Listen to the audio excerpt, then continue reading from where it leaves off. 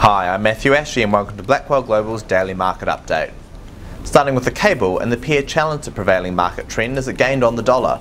The pound's rally saw it close sharply up at the one spot 46.22 mark in the wake of an impressive UK CBI realised sales result.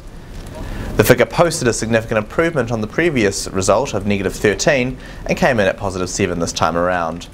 Moving forward, keep a close eye on the UK GDP figures which are due out shortly. Turn to the euro now and the pair plummeted as the market continued to price in the risk of a US rate hike this June. Additionally, the euro was slammed by a strong US new home sales result of 619,000 month on month. As a result, the pair tumbled until finally finding support around the one spot 1139 mark. As for the se second half of the week, watch out for the German GfK consumer climate and IFO business climate results. Finally, the Aussie dollar made a move lower and closed the session down at the 0.7185 mark. The tumble came as a result of both a stronger US dollar and continued dovish remarks from RBA Governor Stevens. Specifically, the central bank governor hinted once again that there remains scope to see the Australian rates ease in the future.